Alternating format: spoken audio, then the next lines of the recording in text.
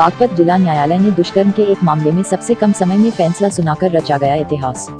विशेष न्यायाधीश POCSO court में पाँच दिनों की सुनवाई कर शैलेंद्र कुमार पांडेय ने सुनाया है फैसला। Dot dot. कोर्ट ने दुष्कर्म के आरोपी को सुनाई आजीवन कारावास की सजा व एक लाख रुपए का लगाया जुर्माना।